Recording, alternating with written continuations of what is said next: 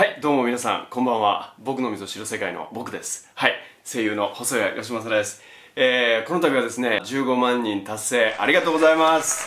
記念してですね、YouTube で皆さんから募集させていただいた、えー質問に答えていこうじゃないかということを突然思いつきました。はい。突然思いついて突然ツイートしたんですけれども、外国の方とか合わせると、えー1100件ぐらいのね、あの質問がえー寄せられていました。本当に嬉しい限りでありがとうございます。コメント欄に1000いくらって僕初めて見たんじゃないですか。初めて見ましたね本当に。ありがとうございます。今日はですね感謝の気持ちを込めて皆さんの質問に答えていこうと思います。はい。いろんな質問があったんですよ。なので被ってるものとかちょっと似てるなっていうものをまとめながら質問に答えていこうと。じゃあ早速最初はこれ。旅行できるようになったら行きたい国街は？旅行できるようになったらやっぱりね今まで行ったところにもう一回行きたいなとは思うんですよ。まあフランスも行きましたしハワイも行きましたしニューヨークも行きましたけどもちろんそこにもすごい行きたいんですけど本当はねこういう状況になる前にえー、韓国のあのアニメフェスタ上海のホビーフェスタ。なんかそういうのにね呼んでいただいていたんですよ。こういう風にならなければね皆さんに会いに行くことができたのでぜひねあのこの状況が収まったら、えーそこに行きたいなと思います。やっぱりねかいんどうしたんどうしたん？んん？どうしたの？海外のファンの方はですね本当にあの現地に行くとすごく喜んでくださるので僕もなんかあ行ってよかったな。自分声優やってるんだなって感じが。どうしてんどうしてんどうしてん？するのであのそこはね行ってみたい国でありますね。声優として一番感慨深い作品はうーん感慨深い作品。もうめちゃくちゃあるんですけど鉄血のオルフェンズですかね。うんなんで感慨深いかっていうとまああのガンダムシリーズ一度は乗りたいってね思う方がたくさんいらっしゃる作品でもあるし、まあ、僕全然ガンダムは詳しくなかったんですけどもガンダムっていうタイトルはねやっぱり知ってましたしあの実はその僕が、えー鉄血のオルフェンズで担当したオルガ・イツカっていう役はあのオーディションだったんですけどやっぱりねなんかこう主人公とかセンターに行くような役っていうのはその時の人気の方とかそういう方がやるもんなんだろうなと思っていたので受かった時は本当に嬉しかったですしでねあの全ガンダム大投票でねキャラクター部門1位になった時はやっぱすごい感慨深かったですね。うん。なのでまあこれからもいつまでも僕の代表作ですね。はい。声優になっていなかったら何の仕事をしていたと思いますか？プーが今水飲んでますね。はい。もし声優になってなかったら多分ねあのーやりたいことなんですよこの仕事。やりたいことだからやれてるんですよね。で多分この仕事じゃなかったら具体的に何とはちょっとパッと思いつかないんですけど多分ね生きるために暮らすために働いていたんじゃないかなと思いますね。うんこんな風にこうあの楽しさとかやりがいとかは多分全然感じることのないまま一生を終えていたんじゃないかなと思いますね。学生時代の思い出は学生のうちにやっといた方がいいということはまあ学生時代の思い出はたくさんあるんですけど学生時代にやっておいた方がいいってことですよね。今僕が思う学生さんにこれだけはやっておいた方がいいと思いますよっていうものですよね。英会話。スペルミスとか全然いいのであの意思表示とか伝えることとかそういうのできといた方がこれからはいいんじゃないかなと思いますね。僕も英会話頑張りたいですね。次の質問はねあおすすめの筋トレメニュー。おは鍛えるのが楽しい部位は。ベンチプレス。めちゃくちゃいいですよベンチプレス。そんなね100キロとか上げなくてもよくて。あのー、低重量でねあの何回もやっていくとあのなんかね上半身全体を多分ねおそらく使ってるんですよね。うん。こういう V のマシンって結構 V だけが鍛えられるんですけどベンチプレスって上半身全体で多分持ち上げてるんですよ。だから多分痩せるのも早いですよ。僕ベンチプレスし始めてから体型変わりましたね。顔つきも変わりました。あのむくんでた顔が一瞬でシュッてなりますこれ絶対おすすめですよ。ベンチプレス。軽いものからでもいいので試してみてください。広島県尾道市のおすすめの場所ご飯は？これはねあの、いろいろあるんですけど、まあ、尾道水道。尾道水道って言ったらかっこいいけどあの駅前にある海ですね。あそこおすすめですよ。あとね商店街のその裏側にあるね海側の道はね結構デートスポットなんで僕が高校生の頃からいろんなねカップルがそこをカッ歩しておりましたよ。ええ。ー、いずれなんか街ぶら尾道を紹介する動画もね撮れたらいいなと思ってますね。その時はぜひ今の皆さん見てください。あそしてあのチャンネル登録ベルマークの通知よろしくお願いしますミントチョコレートアイスは好きですか？うん、アイスならいい。これから挑戦したい、やってみたいことは？えっとね、YouTube ライブやってみたいですね。なんか僕、あのー、なんて言うんですか、この間ね、クックパッドの配信始めたんですよ。始めたんですよっていうか、オファーがあったんでね、やらせてもらったんですけど、今までだったらね、自分がこう顔をさらして、あの配信をやるっていうのってあ,、ま、あんまなかったんですけど心境の変化っていうのかなあのなんで思ったかっていうととにかくあのかっこいい言い方しちゃうとねうん僕を応援してくれてる人たちとすごい交流がしたかったんですよ。うん、話してみたかったんですよね。なんかこうイベントとかあトークライブとかねあの仕事でやらせてもらったことはあるんですけど大体その演者の方と話してあのメールを来て読んだりとか、まあ、たまに壇上に上がってもらってちょっと喋るぐらいじゃないですか。で僕ねその時間でああもっと話したかったのにもっと質問したかったのになっていうことがすごく多かったのでぜひねあの、まあ、ファンの方とねあのお話ししてみたいなという思いが強かったのでやらせてもらったんですね。なのであの生配信うん、やってみたいなと思います。あとは YouTube でねいろいろ考えてるのがノンアルコール対談ね、うん、ノンアルコールでもう対談するっていうのをやりたいです。好きな人を呼んでもうただ喋る。いろんなテーマを決めて喋る。これやりたいですね。以前クズ役をやってみたいと言っていましたが次にやってみたい役はこれね厳密に言うとねあのー、僕もね Twitter 始めて分かったんですけどみんなね僕がやってる役をねあのあの役はクズだあの役はクズだって言ってくれるじゃないですか。なんですけどね僕にしてみたらクズじゃないんですよね。まだまだ足らない。クズっていうのを例えばアニメとかでやるときにねこれ個人的な意見ですよ。個人的なプーがね個人的な意見なんですけどなんかもうすごいクズみたいな顔とかクズみたいな行動を分かりやすくするじゃないですか。そういうんじゃないんですよ。僕がやりたいクズの役はね一言で言うと優しい虫も殺せさ殺せなさそうな結婚詐欺師の役をやりたいですね。愛してるよお前だけだよって言いながらもう裏でこうお金を取っていくっていう。でもうあのすっごいクズなことしたのに最後まで白を切って「おいおいやめろ。そんなもんで刺されたら痛いじゃないか。僕のこと好きだろ?」っていうようなそういうクズ。そういうクズをやりたいですね。うん。多分なかなか難しいんじゃないかなと思います。だからいつか朗読朗読劇とかねそういうのでできたらいいですよね。あだからいつかのねあの関明夫さんのねあの快感話にあの呼んでいただいた時にあのちょっとそういうクズのねあのなんか芸人さんのお話をモデルにした クズの役をやらせていただいたんですけどそれはちょっとね理想に近かったですね。ああいうのやりたいんですよね。僕自分の声ちょっとこうあの優しげな響き優しげな響きがあると思ってるんですよ。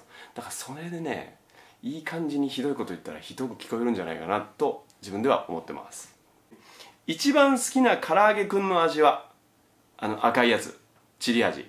からし味。からしじゃない。あの唐辛子味。赤いやつ。とにかく赤いやつ。うん。赤いやつ。はい。なかなか自信が出なくて悩んでます。どうしたら自信を持てますか？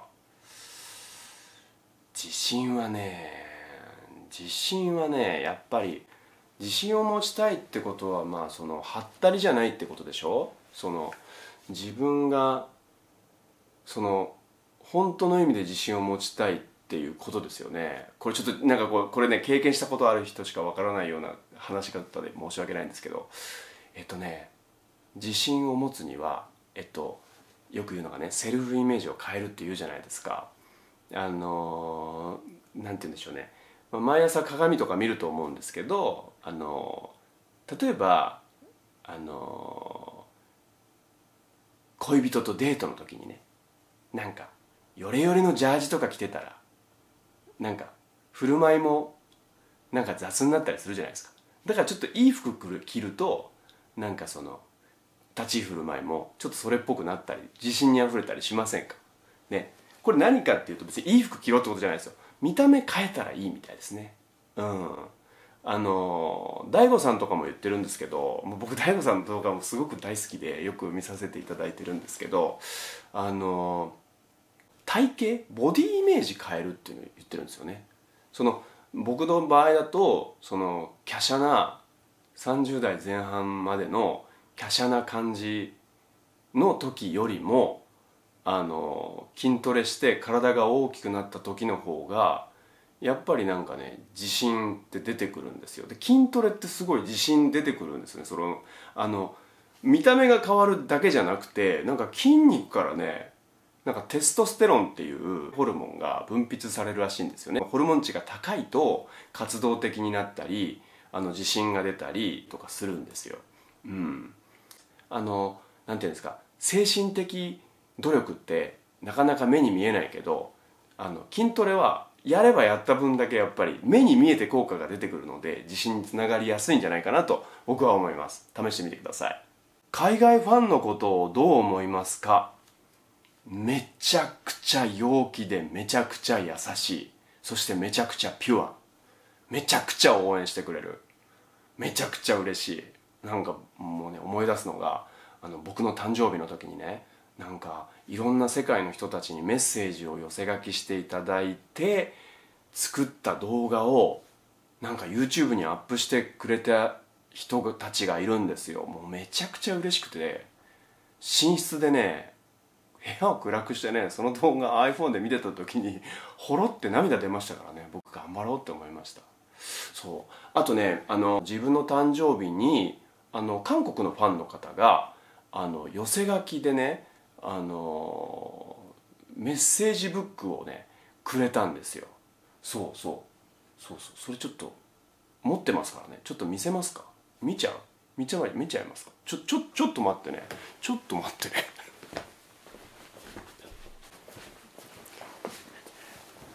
はい。多分ねこれ編集で 多分この移動は切ってると思いますけど。これなんです。見えますか？くださった方は覚えてるのかな？2019年のねあの2月10日に僕が 38? もう忘れた。38歳ぐらいの時の誕生日の時にねあのくださったんですよ。こんなに分厚いんですよ。でもうその有志の方を募ってくれてもういろんなそのねあのポストカードと一緒にメッセージをねあのくださっていつも応援してますっていう。なんかこういうあの日本以外の国の皆さんがどういう暮らしをしてどういう風景の中にいるのかっていうのをなんかちょっとこう感じれるんですよね。旅行行きましたとかなんかちょっとこう海の海の感じとかね、うん、そういうの見るとなんか本当に嬉しいなって思いますね。本当に嬉しいですね。本当に嬉しい。もう遅くなりましたけど本当にありがとうございます。これからも頑張っていこうと思います。きな絵文字は？うん。そんなのもうみんなもう分かってますよね。おじいちゃんマークですよ。おじいちゃんマークが好きです。100万円あげると言われたら何を買いますか？何買うかな？正直ね僕あんま物欲ないんですよ。好きなあの演者さんなりクリエイターさんなりをあの自分の YouTube にあのお招きして喋っていただくためにあのギャランティーとして 使おうと思います。ねやっぱりねあのタダで出ていただくわけにはやっぱいかないですから、ね、友情出演って友情出演はちょっと悪いよって思うんですよね。うんめちゃくちゃ仲良かったらご飯でご飯一食で出ないとかっていう。いやそれもダメだ。ダメダメ。それダメダメダメ。そんなのダメだ。やっぱりギャラを払いたいね。うんギャラを払いたいよ。最近のルーティン。楽しみハマってることは？最近のルーティン朝のルーティンってこと？夜のルーティンでもいいの？まあどっちでもいいわ。ルーティン、まあ、朝起きてやることはもう決まってますよ。朝起きるじゃないですか。ねベッドから起き上がってねリビング行くわけですよ。リビング行ったらねあのプーがねプーが飛び跳ねてレッスンするわけですよ。そこでねあのトイレシートを変えてね、まあ、うんちもしてるわけですよ。でそのうんちをねトイレットペーパー トイレに行ってトイレットペーパーを持ってきてそれをペッてこう掴んでトイレに流すっていう。でそこからプーのご飯を作ってあのプーにあげると、うん、でこれね今言うとこうルーティンが定まってる感じするじゃないですか。言うてね僕らの仕事って不規則ですから朝早く起きれる時もあればね寝たい時もあるわけですよ。でねつい寝ちゃう時あるじゃないですか。で寝てね。で起きるの遅くなったらね。こいつがこいつがねあのもうトイレシートをもう引き剥がしてね。トイレシートの下にあるうんちとかしちゃいけないところにうんちをばらまきまくってね。でしかも僕がリビングパッと開けたらねめちゃめちゃ尻尾振ってその上で飛び跳ね寄るわけですよ。うんちをめちゃめちゃ踏みながらね。あの今はケージが来てるからいいですけどあの段ボールだった時あるんですよ。段ボールの時すごかった本当に。うんちを踏みまくって飛び跳ねてその段ボールから出ようとするもんですから壁にねうんちのねアクションペインティングって分かります？絵の具をバーンぶつけるみたいなのがもううんうんうんちでうんちのペインティングがねあのできてるんですね。ね。見えないけどこいつ半目開けて聞いてますよ。最近はね大丈夫ですけどね。元気ですか？元気です。好きな人に素直に気持ちを伝えられません。どうすればいいですか？なるほど。こういう話ですか。こういう話好きなの知ってますよね？うん。あのね質問者さんは次があると思ってません？この質問者さんは自分が告白しなくてもなんとなく相手はそのままいてくれると思っているでしょう。すごいリアルなこと言っていいですか？人間っていつか死ぬんだよ。嘘嘘嘘。今のは違う。今のは違う。あのね誰かの彼氏誰かの彼女になるかもしれないんですよ。あなたが好きになるような魅力的な人なら誰かが持ってっちゃうかもしれないんですよ。持ってっちゃうって言い方よくないね。誰かがあなたよりも勇気を出して彼おは彼女を恋人にしちゃうかもしれないんですよ。それ考えてみて。それ考えてみて。それ考えたらもう行くしかないよね。素直に伝えるしかないから。うん。好きっていう言葉を言うだけだよ。私はあなたが好きって言うだけ。付き合いたいと思っているって言うだけ。言い方がスマートじゃなくてもいいの。声が震えててもいいの。ね。棒読みでもいいの。うん。伝えないと誰かに持ってかれちゃうよって思ったら伝えたくなるでしょ。うん。いつまでもそこにいてくれるって思うからあのもしかしたら二の足踏んじゃうのかもしれないですよ。うん。なんでこんなこと答えられるかっていうとねそれで後悔したことがありますよ。来年40にもなるおじさんですからね。うん。それありますよ。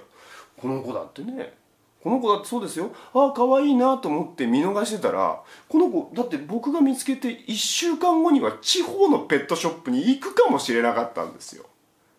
ねえ、はあ、抱かれてこなかったんだな。おとなしい子だな。この子を持って帰ろうと、まあ、裏切られましたけどね。もううんちの壁を作りやがってねもう。この間ね余談なんですけどこの間うちに税理士さん来たんですよ。初めましての税理士さんですよ。ね。なのにねいきなり寄ってってねいきなりお腹見せてねいきなりこう尻尾振ってもうクンクンクンクン言ってるんですよ。親としてはね将来が心配になりましたよね。とんでもない小悪魔ですよ。けしからん。ね。けしからん。はい。えー、僕の話が長すぎて、えー、撮影連続時間のですね連続撮影時間の限界を迎えました。最後の、ま、さっきの質問の続きいきますね。えなかなか人を好きになれません。どうすればいいですか？ということなんですけどあのねその人を好きにならなければいけないっていうことはないんですよ、うん、例えば、えっと、私は人を好きになれないと。で人間関係が例えばうまくいってないと。で周りを見れば人間関係がうまくいっていろんな人に囲まれている人がいる。あああの人は人から好かれてるしあの人自身も人に親切にしてるからあの人も人が好きなんだろう。私は人が好きじゃないからうまくいってないのかもしれない。って思うこともあるかもしれない。例えばね。なんだけどあのー、別に人を好きになれないから人間関係がうまくいかないとかではないんですよね。人間関係ってね意外にテクニックであのなんていうかなんて言うんだろう感じよく対応してたりとかあの相手の求めてるものを出してあげたら意外にちょっとうまくいったりするんですよねだけだからといってその人を好きかどうかってまた別の問題じゃないですかだからその無理をしてあの人を好きになれない自分は良くないんだとかちょっと至らないんだって思う必要はないんですよね。うん。あの人がねめちゃくちゃ嫌いで人といるのが苦痛だってなったらちょっと社会生活とかね人間関係を営んでいくのにちょっと支障が出てくるのでそこはちょっとああちょっと深刻な問題だなとは思いますけど別にあの好きの反対はうんなんて言うんだろう。まあ好きになれなくてもいいというか、うん、無関心でもいいんですよ。対応できれば。うんお腹の中でどう思ってるかなんて言わなきゃ分かんないしあの好きじゃなくても好きだって言っておけばあの その場の人間関係が意外にうまくいったりするんですよね。うん、やっぱり本音と建前の動物ですから人間ってのは。うん、だから別に無理をして人を好きになろうという必要もないですしもしかしたらこの好きは恋人ができないっていう悩みかもしれないからその思春期とか年頃になって人好きになれないっていう自分はダメなのかなって思うこともないんですよ。うん、そのまだ私が好きになるに値する人に出会えてないし出てきてないって思ってればいいんですよ。普通に過ごしていけばいいと思いますよ。嫌い人間が嫌いとかじゃなければね全然問題ないと思います。また恋愛相談駆け込み寺をやる予定はありますか？やりたいんですよ。やりたい。やりたいな。人の恋愛相談とかね人生相談とかねあのその人がその人となりが分かるじゃないですか。だからやりたいですね。うん。やつを呼び戻しますか。もうまた恋愛相談であの僕はあの世の中のね迷える迷える子羊さんたちをね叱りたいですね。叱りたいっておかしいけどね。だからね僕は本当思う、うん、あの付き合う前にね付き合う前にそうなっちゃいかんよ、うん、久々に言ったわ、うん、そういうことをねやっぱ伝えていきたい。だから恋愛相談やりたいですよ、うん、恋愛相談やりたいですね。うん。やりたい。やろう。やりましょう。もうこれやろう。やるってことだね、うん、やります。あ言い忘れたんですけどチャンネル登録高評価ベルマークの通知よろしくお願いします。ツイッターもやってるんでぜひフォローお願いします。それじゃあまたねバイバーイ。